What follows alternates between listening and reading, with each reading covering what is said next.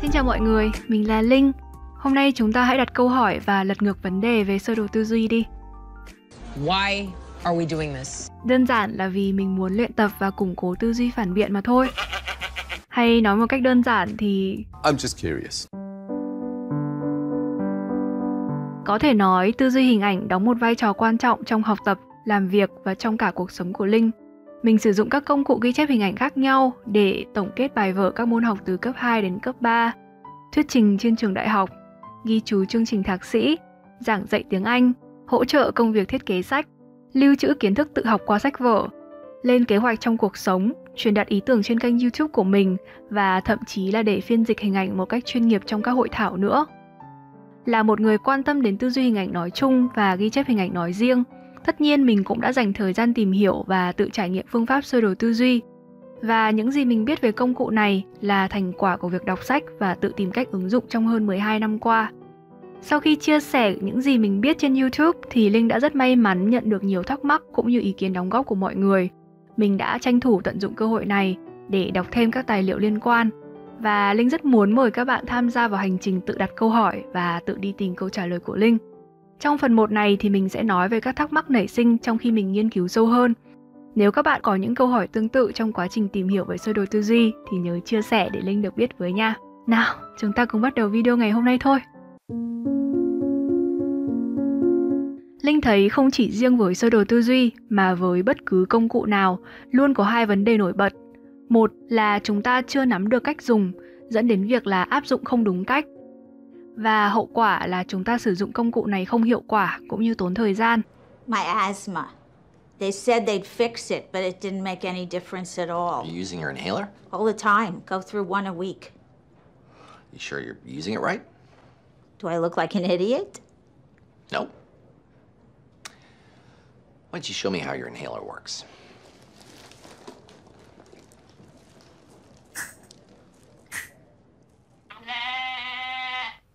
Hai là chúng ta thần thánh hóa tác dụng của công cụ và cố gắng áp dụng công cụ này vào giải quyết mọi vấn đề và hậu quả cũng sẽ là không hiệu quả và tốn thời gian.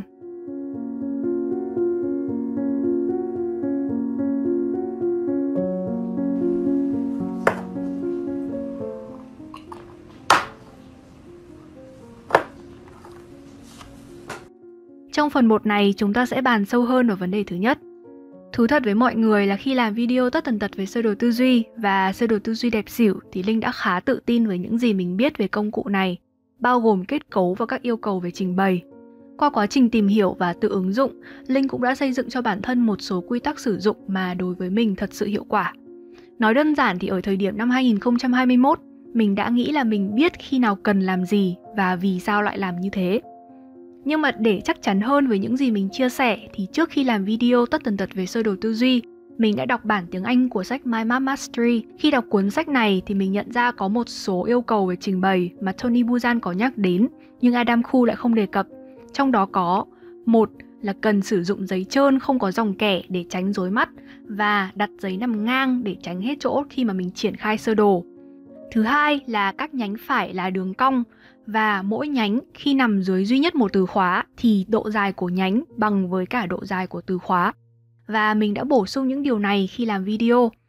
Tuy nhiên là mình khá bất ngờ khi nhận được rất nhiều các góp ý về cách trình bày như sau.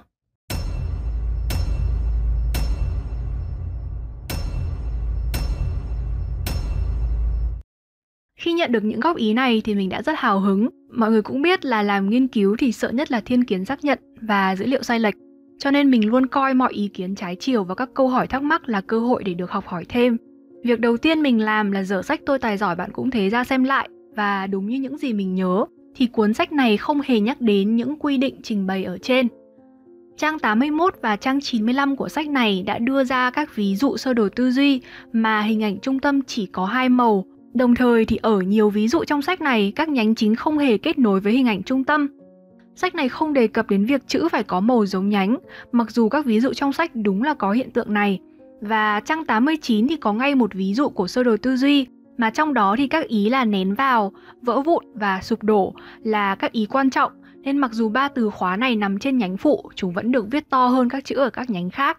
Việc thứ hai mà mình đã làm là đọc lại thật kỹ cuốn My Map Mastery và lần đọc này đã khiến mình nhận ra càng nhiều các chi tiết mà lần đọc đầu tiên mình chưa để ý. Trong đó thì đúng là ở chương 2 thì sách này có nói hình ảnh trung tâm cần ít nhất 3 màu. Và ở các ví dụ được dùng trong sách này thì đúng là chữ có trùng màu với nhánh thật. Mặc dù tác giả Tony Buzan không trực tiếp viết về quy tắc này. Như vậy thì các vấn đề được các bạn chỉ ra trong phần bình luận đều đến từ việc là cuốn sách đầu tiên mà Linh đọc về mind map là của Adam Khu và dù thế nào thì Adam Khu cũng chỉ là người từng sử dụng công cụ này và viết sách kể lại, chứ không phải người sáng lập ra phương pháp này như là Tony Buzan. Hơn nữa thì sách Tôi Tài Giỏi bạn cũng thế bàn về các phương pháp học tập nói chung, chứ không viết chuyên về sơ đồ tư duy, nên lượng thông tin đưa ra có hạn. Như vậy thì những gì tác giả này viết ra, nếu có sai sót là việc có thể hiểu được. Và như thế thì chúng ta có thể đặt câu hỏi là liệu có phải từ giờ để làm ra sơ đồ tư duy đúng chuẩn thì người tự học như Linh chỉ cần bỏ qua sách của Adam Khu hay là các nguồn thứ cấp tương tự và đọc trực tiếp sách của Tony Buzan là được. Phải không? Problem solved, right? No, not exactly. Vấn đề hóa ra không đơn giản như thế. Mọi người có biết ai là người viết lời mở đầu cho sách Tôi tài giỏi bạn cũng thế không? Chính là Tony Buzan. Nếu những thông tin mà Adam Khu đưa ra về sơ đồ tư duy là không đúng chuẩn với quy định của Tony Buzan, thì vì sao Tony không hề góp ý cho Adam về những sai sót này? Thậm chí còn ca ngợi cuốn sách. Như vậy thì những gì Adam Khu đưa ra không sai, hay là Tony chưa đọc kỹ những gì Adam viết về công cụ này?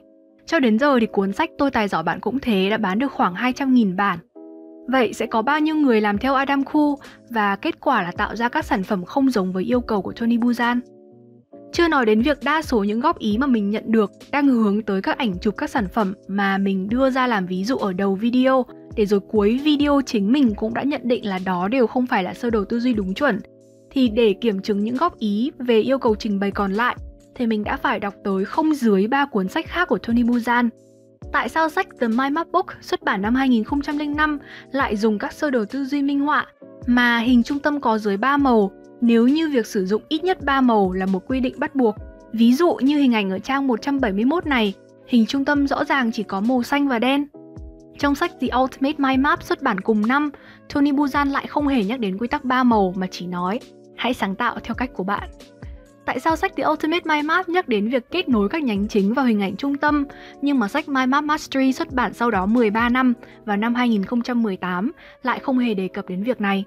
Mình đã mua bản tiếng Việt của sách The Ultimate Mind Map và thấy có đoạn như sau. Tất cả các nhánh chính đều sẽ liên kết với bức hình trung tâm. Mình cũng xin phép trích dẫn đoạn tiếng Anh của cuốn sách này để mọi người thấy được là tác giả sử dụng từ connect. Trong khi cách dùng từ ở cuốn Mind Map Mastery lại là radiate. Ở lần đầu đọc sách này để chuẩn bị cho video tất tần tật về sơ đồ tư duy, mình đã hiểu từ radiate này có nghĩa là tỏa ra từ một điểm trung tâm mà như khi chúng ta vẽ các tia nắng mặt trời thì dù là dính vào hình tròn trung tâm hay là cách ra một đoạn thì chỉ cần hướng ra ngoài từ điểm trung tâm đó thì về bản chất vẫn là tỏa ra đúng không? Là một người đạt 9 chấm IELTS reading 5 lần thì mình không nghĩ là cách hiểu từ radiate của mình sai. Thứ ba là trong cả ba cuốn sách My Map Mastery, The Ultimate Mind Map và The Mind Map Book cũng có rất nhiều hình ảnh ví dụ về sơ đồ tư duy mà trong đó các chữ có màu đen chứ không cùng màu với nhánh. Đồng thời trong ba cuốn sách này mình cũng chỉ tìm thấy các đoạn trích nhấn mạnh tầm quan trọng của việc sử dụng kích cỡ chữ, chứ không thấy quy định là trên các nhánh phụ thì chữ bắt buộc phải nhỏ hơn nhánh chính. Ví dụ như trong My Map Mastery tác giả có viết The larger an item, the greater its visual impact and the more likely you will be to recall it. Có nghĩa là một chi tiết càng lớn thì tác động về mặt thị giác của chi tiết đó lại càng cao và khả năng mình có thể gợi nhớ lại về chi tiết đó ở trên sơ đồ tư duy là càng dễ dàng. Và trong The Ultimate Mind Map thì hình ảnh sơ đồ tư duy được dùng làm ví dụ. Có ý tăng lên là một ý quan trọng nên ý này được viết lớn hơn hẳn so với các ý ở cùng nhánh có cấp bậc tương đương. Hay là trong cuốn The Mind Map Book ở trang 258 thì ý hòa bình là một ý quan trọng nên cũng được viết to hẳn lên. Như vậy thì tại thời điểm hiện tại mình vẫn cho rằng nhận định của mình là ý nào quan trọng hơn thì mình được phép viết lớn hơn là không sai. Nhưng mà mọi người có biết không, sau cùng thì điều là mình băn khoăn khi đọc ba cuốn sách này là tính không nhất quán và không đầy đủ của các thông tin được đưa ra. Và đã đến lúc chúng ta, những người quan tâm đến công cụ này, đặt câu hỏi rồi. Nếu đây là một công cụ được chuẩn hóa và phổ biến trên thế giới, thì dù người tìm hiểu về công cụ này, đọc sách do chính tác giả viết hay là học khóa học của tác giả hoặc là xem các video phỏng vấn, các bài diễn thuyết do chính tác giả trình bày thì các thông tin mà họ nhận được phải thống nhất với nhau trước. Trước thời điểm Linh làm video tất tần tật về sơ đồ tư duy, mình không hề tham gia bất cứ một khóa học nào. Mọi điều mình biết đến từ sách Tôi Tài Giỏi Bạn Cũng Thế. Và như đã nói ở trên thì sách này có sự chấp thuận của Tony Buzan. Vậy thì xét về cấp độ tiếp cận với kiến thức, mình đang ở vị trí ngang hàng với các bạn đi học về sơ đồ tư duy từ người đã từng học về sơ đồ tư duy. Có nghĩa là nguồn thông tin của chúng ta đều là nguồn thông tin thứ cấp. Nếu những gì mình học được từ cuốn Tôi Tài Giỏi Bạn Cũng Thế không chính xác, thì các bạn có chắc chắn là những gì các bạn học được từ các khóa học là chính xác hay không? Thứ hai là mình đã làm một việc để tiến gần hơn đến với thông tin, đó là đọc trên 3 cuốn sách và xem tất cả các video của Tony Buzan mà mình tìm được trên YouTube. Việc làm này đã đủ khiến những hiểu biết của mình toàn diện và chắc chắn hơn để các bạn có thể tin tưởng chưa? Thú thật là mình cũng chưa có câu trả lời. Mình chỉ biết là hiện tại thì mình đang kém so với Adam Khu hay là những người từng học về sơ đồ tư duy với Tony Buzan một điều duy nhất, đó là cơ hội trực tiếp đối mặt và đặt câu hỏi chất vấn mà thôi. Tiếc thay là vào thời điểm mình quan tâm nghiên cứu nhiều hơn về công cụ này thì cha đẻ của sơ đồ tư duy đã qua đời rồi. Nhưng dù thế nào thì về nguyên tắc thì khi mà bỏ tiền ra mua sách của tác giả, mình cũng có quyền được biết hết những gì quan trọng về công cụ này, giống như những người học trực tiếp với Tony Buzan. Mọi người có đồng ý không ạ? Vì sao một công cụ mà đã được tổ chức của Tony Buzan đăng ký bản quyền thương mại và đã được ông tuyên truyền từ những năm 1960 cho đến nay mà vẫn chưa được hoàn thiện về mặt trình bày. Vì sao các sách về công cụ này do chính tác giả viết ra lại không nhất quán về nội dung và bản sau lại thiếu đi thông tin của bản trước, giống như mình đã trình bày ở bên trên vậy? Ngoài sách của Adam Khu thì trên thị trường có vô vàn các sách chuyên ngành khác nhắc đến hoặc là sử dụng sơ đồ tư duy, từ việc học ngôn ngữ đến các môn khoa học, rồi thậm chí cả kinh tế và y khoa. Nhưng mà chỉ cần mở sách ra xem là bạn sẽ thấy những sách này đang áp dụng ghi chép hình ảnh có bố cục trung tâm, chứ không phải sơ đồ tư duy đúng với yêu cầu của Tony Buzan. Vì sao một công cụ đáng lẽ được tạo ra để giúp người học tiết kiệm thời gian, trên thực tế lại gây ra nhiều khó khăn để tiếp cận với cách sử dụng như vậy? Nếu thật sự có nhiều yêu cầu cần phải nắm vững như vậy mới dùng được sơ đồ tư duy, thì liệu sơ đồ tư duy có nên được đưa vào các chương trình học vốn dĩ đã quá tải của học sinh sinh viên hiện nay hay không? Và quan trọng nhất là tất cả các yêu cầu về mặt trình bày mà Tony Buzan đặt ra, liệu có đến từ các kết luận khoa học và có số liệu nghiên cứu cụ thể hay không? Liệu rằng có cần tất cả các yêu cầu này mới có được lợi ích mà sơ đồ tư duy mang lại hay không?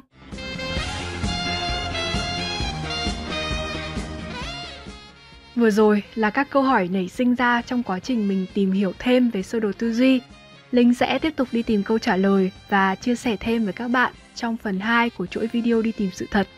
Rất mong các bạn theo dõi đón xem. Còn bây giờ, cảm ơn các bạn đã xem video này và hẹn gặp lại các bạn trong các video lần sau. Bye!